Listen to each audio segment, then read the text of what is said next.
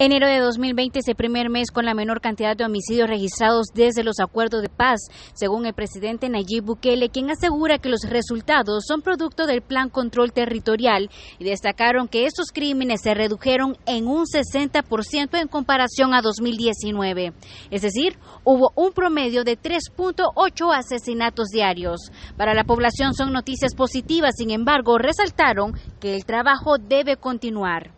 Se han bajado un poco los índices de violencia y pues se mira también este, que hay pues movimiento de la policía en lugares pues estratégicos, así pues se evita que también pues el, mal pues ande ahí en las calles. Pero delincuencia siempre hay.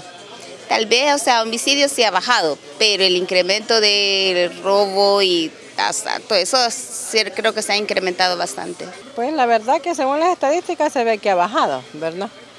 Realmente pues como estaba la vez anterior pues se ve que ha bajado bastante.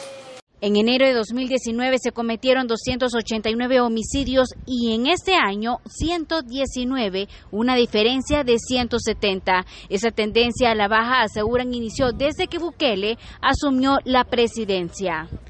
Este es un informe de Marcela Rivera.